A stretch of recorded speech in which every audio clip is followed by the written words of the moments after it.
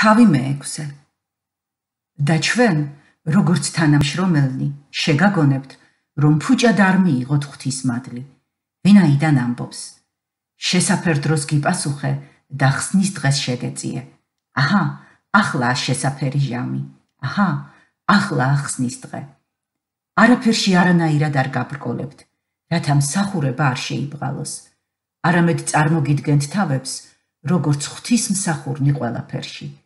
დიდ მოთმინებაში, ჭირში, გაჭირვებაში, შევიწროებაში, ცემაში, საპყრობილეებში, შფოთში, უძილობაში, მარხვაში, სიწმინდეში, შემეცნებაში, სულგრძელობაში, სიკეთეში, სულიწმიდაში, უანგარო სიყვარულში, ჭეშმარიტების სიტყვაში, ღვთის ძალაში, სიმართლის იარაღით მარჯვენასა და მარცხენაში, დიდებასა და სირცხვილში, გმობასა და ქებაში, მაცთურებად გვთვლიან, მაგრამ ჭეშმარიტნი, ვითომ ცუცნობნი, მაგრამ ცნობილნი, ვითოვც მომაკვდავნი და აჰა, ვцоცხლობთ. გსჯიან, მაგრამ არ ვკვდებით. თითქოს მწუხარენი, მაგრამ მუდამ მოხარულნი.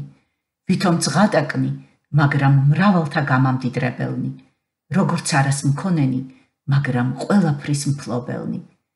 ბაგე ჩვენი გახსნილია თქვენს მიმართ, კორინთელნო, და გული ჩვენი ღია. თქვენ ვიწროდ არ ახართ ჩვენში, არამედ თქვენ შიგდით არის სივიწროვე.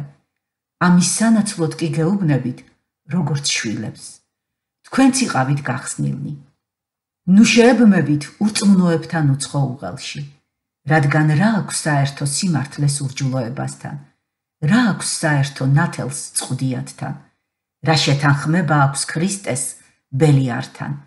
ან რა წილი აქვს მორწმუნეს ურწმუნოსთან? რა კავშირი აქვს ღვთის ტაძარს კერპებთან? რადგან თქვენ ცოცხალი ღვთის ტაძარი ხართ, როგორც თქვა ღმერთმა. დაუმკვიდრდები და ვივლი თქვენ შორის და ვიქნები თქვენი ღმერთი და იქნებით ჩემი ხალხი. ამიტომ გამოდით მათგან და გამოეყავით. ამბობს უფალი. უწმიდურს ნუ მიეკარებით და მე მიგიღებთ თქვენ. ვიქნები თქვენთვის мама და თქვენ იქნებით ჩემთვის ძენი და ასულნი.